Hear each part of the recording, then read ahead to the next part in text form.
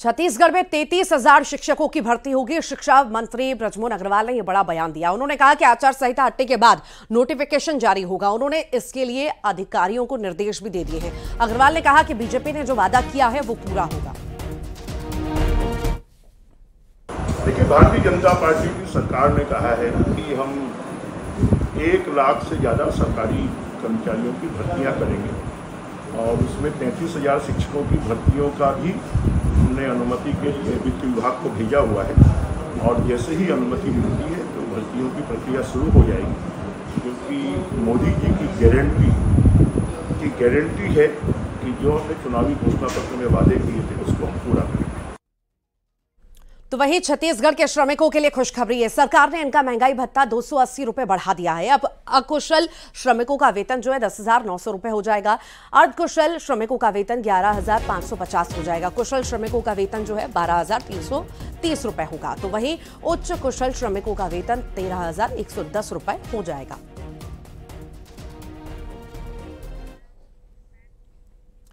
दीपक batch के बयान पर वन मंत्री का पलटवार सामने आया। नक्सलियों को निर्दोष बताने पर उन्होंने हमला बोला। वन मंत्री केदार कश्यप ने निशाना साधा। बस्तर में हुई मौत में कांग्रेस नेताओं का हाथ है, ये भी कहा। बस्तर के कई जगहों पर आम लोगों की मौत हो गई। उसमें कांग्रेस नेताओं का हाथ रहा है।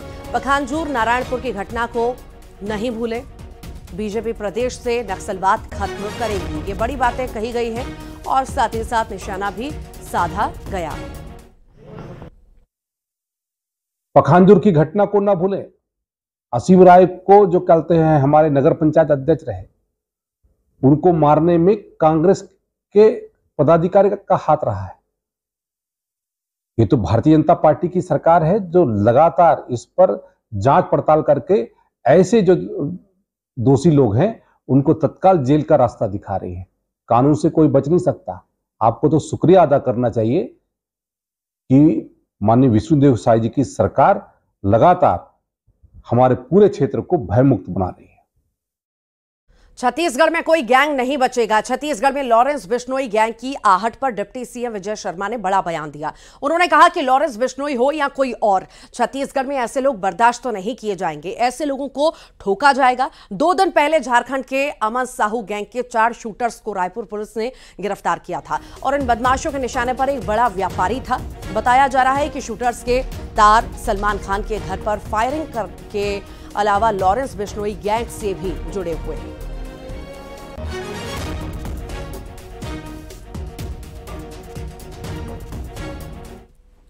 कारोबार झारखंड में है, लोग रहने वाले यहाँ के हैं, सुरक्षा की जिम्मेवारी हमारी है, और चाहे लॉरेंस बिस्नोई हो कि फारेंस बिस्नोई हो, ठोका जाएगा भैया। ऐसा करेंगे तो गलत होगा इनके साथ। गुजरात के राजकोट में हुए गेमिंग जोन हादसे के बाद न्यूज़ एटीन की टीम ने रायपुर के गेमिंग जोन का रियलिटी चेक किया, जिसके बाद राजधानी के फायर सेफ्टी विभाग ने गेमिंग जोन में फायर सेफ्टी की जाँच की और इसी दौरान खामियाँ पाए जाने पर तीन बड़े गेम जोन को नोटिस भी भेजा है।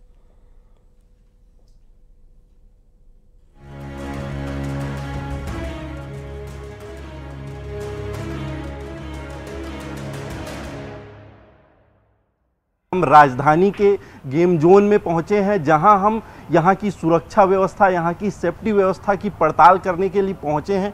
आइए जानते हैं कि यहाँ किस तरीके से व्यवस्था की गई है। यहाँ के प्रबंधन से हम बात करेंगे और यहाँ की सेफ्टी के बारे में जानेंगे कि बच्चे आखिर आते हैं, जब लोग आते हैं तो किस तरीके से यहाँ पर व्यवस्था की गई है।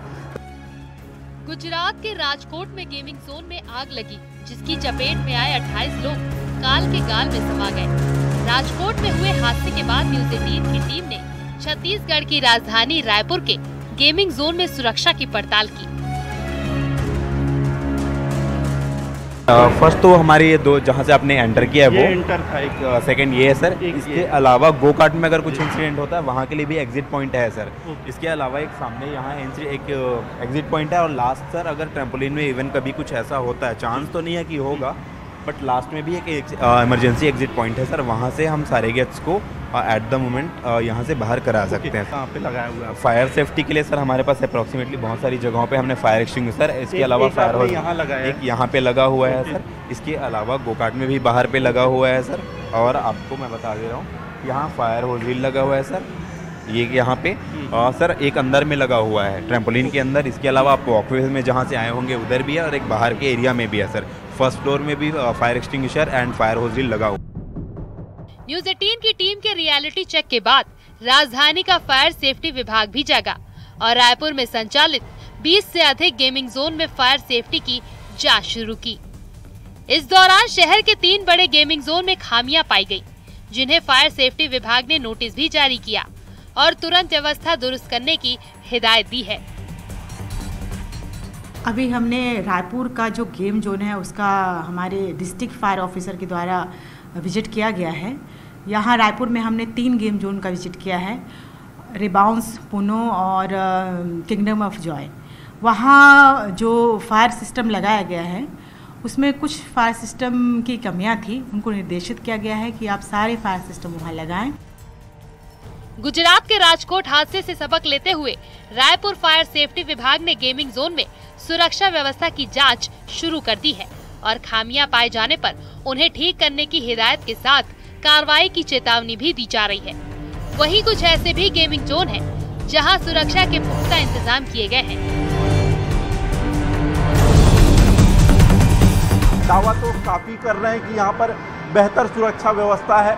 हालाँकि प्रशासन को जो राजधानी में कई गेम जोन है, उसकी भी पड़ताल करनी चाहिए, उसकी ऑडिट करनी चाहिए, ताकि वो कितना सेफ़ है, वो देख सके। कैमरामैन राजेंद्र सिंह के साथ आकाश शुक्ला, न्यूज़ 18 रायपुर, छत्तीसगढ़। और आइए अब देखेंगे टॉप ट्वेंटी।